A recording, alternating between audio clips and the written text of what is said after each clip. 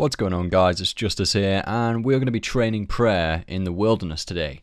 We're going to check out this new method, so after you've completed the wilderness achievement diaries and I think once you've completed the hard tasks you'll then be able to actually use this method in the wilderness. We're going to go and talk to Harrison to unnote our dragon bones, and we're going to train some prayer. We're going to track the XP across an hour.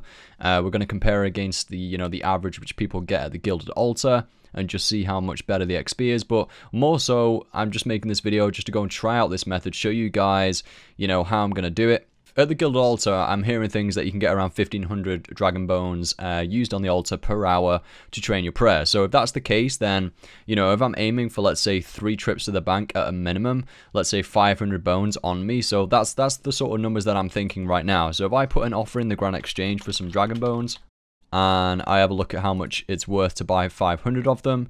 So if I just put an extra 5% on the price per item, um, you know, it's 1 million GP. They'll probably buy instantly. So that's 1 mil. So I'm going to be risking 1 mil, 1 million GP each time. And there was an update that came out. And I don't know whether it came up came out with that update or not.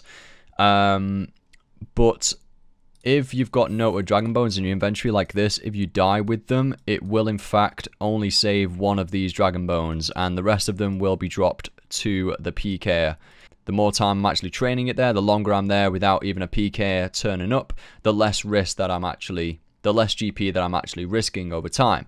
Alright guys, so I've managed to um, get my preset set up pretty damn simple to be honest. I was thinking of different teleports that I could use. I've got the Wilderness Sword and I've whacked that onto my action bar so you the Chaos Altar is below level 20 Wilderness, so as long as you're not tele-blocked, you can just instantly teleport out.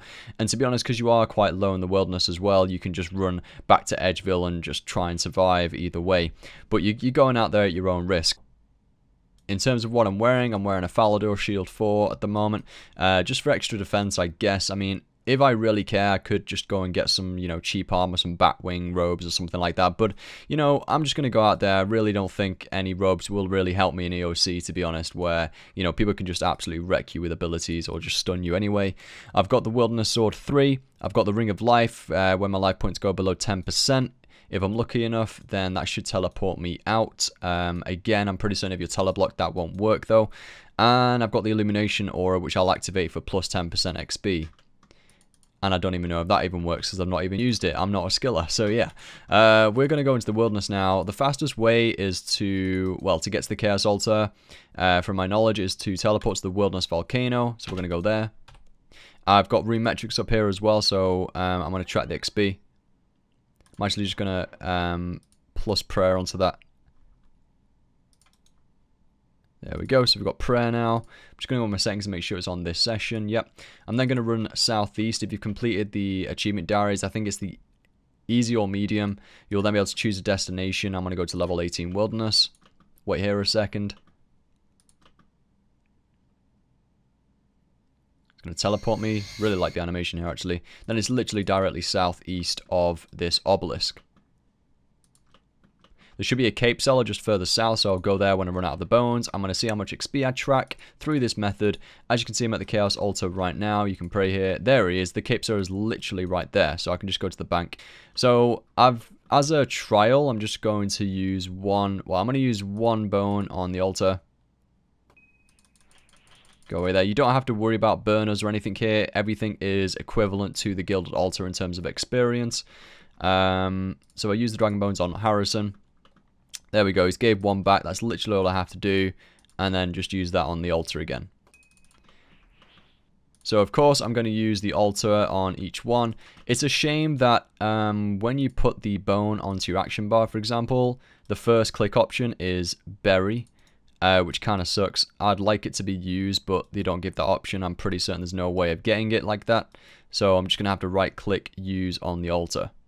Also, just a thought, the good thing about this method is that I'm pretty certain, I mean, to complete the achievement, uh, the Wilderness Achievement Diaries, it didn't really require much effort. They were actually pretty damn easy. Uh, not sure how many different level requirements there were because I'm maxed, but either way, it's worth looking into to see if you even need a high summoning level. I'm pretty certain you don't. If that's the case, then this is a great alternative for people who don't, you know, have a yak, for example, to make the Gilded Altar training a lot more efficient, and instead they can just come and use this method it will be interesting to see, you know, if there are any PKs out on the hunt.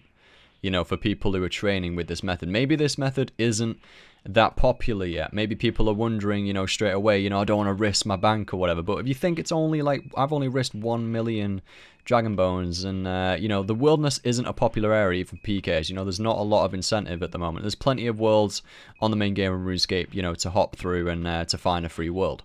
Oh yeah, and I'm just thinking, if anyone says in the comment section, oh my god, method ruined, caps lock, oh my god, he's ruined this method for me, I'm gonna get PK'd, dude, seriously, um, it's been promoted everywhere. It's an obvious uh, reward for completing the diary set. You, you're going out into the wilderness at your own risk at the end of the day. But it, like I'm saying, it really isn't much risk. It depends on how much the wilderness gets revived. I think also we're just skillers at the end of the day. You know, they need a real incentive to, to come and PK us. You know, is 1 million GP. I mean, it's not even 1 mil GP anymore. And, it, you know, it's not much at all. So it goes down really quickly. You don't even have to take 500 bones. The bank is literally right there.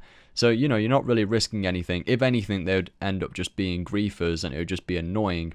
And to be honest, if you're a PKer, if I was a PKer, I'd rather go PK some actual PKers and risk for some really good loot rather than just PKing skillers. That's just my personal opinion. I mean, I'm not a PKer, but, you know, when the deathmatch update comes out, the TDM update and the bounty hunter update, where it's at where those rewards are actually going to give you like entry level PKing gear, we might actually then see an increase in popularity of the wilderness you know, right now in terms of skillers, I don't know how it's looked upon in the PK community. So yes, of course, I'd be angry if I get PK'd.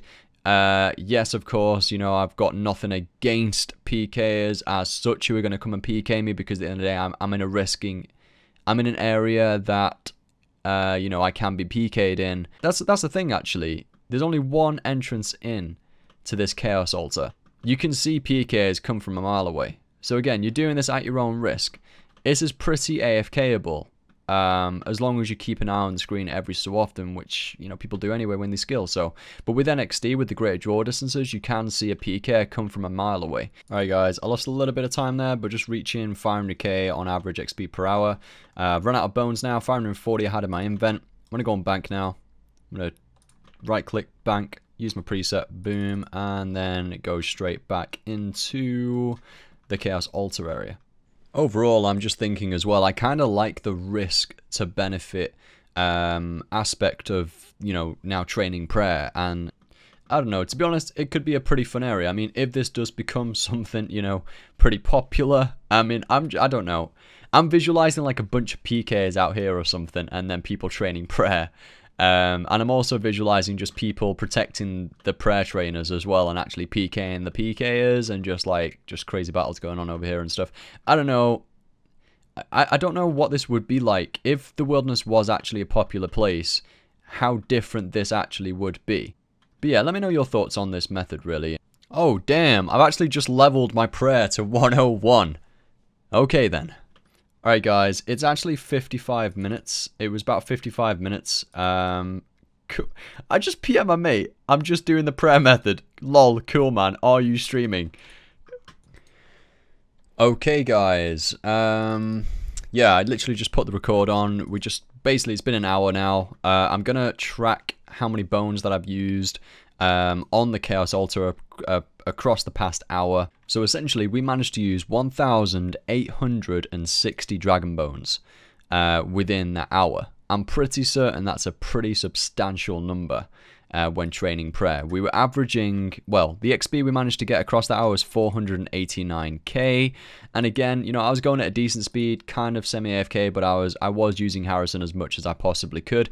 Uh, it also averaged out to 3. 3 million GP cost within that hour as well. I decided to go and try out the Gilded Altar method as well um, of prayer training with the help of a friend who was running the Dragon Bones for me, and we averaged about 1,500 Dragon Bones an hour here. That's a difference of 360 bones of any kind, which is equivalent to an extra 90,000 XP per hour if using Dragon Bones. That's a variance of plus 24% on your experience training here for prayer. I mean, that is pretty damn substantial to me, and for me personally, that does outweigh the risk. So, is it worth the risk? Yes, it's worth it against having a runner um, for a Gilded Altar method, and it's also well and truly worth it if you don't use a runner and you're actually running to the bank yourself. Even if you can get closer to that 1860 mark with a runner, I'm sure people can do it faster than what I did it with 1500. Uh, maybe you can get up to 1700 maybe, but past there, I, I assume you're going to be really, really pushing it um, in terms of the speed. I don't think you're going to be able to get much faster than that. Uh, this method against that is well and truly worth the risk in my opinion and you could even risk half the amount of dragon bones that I risked and it would still be quicker than the gilded altar method without a runner.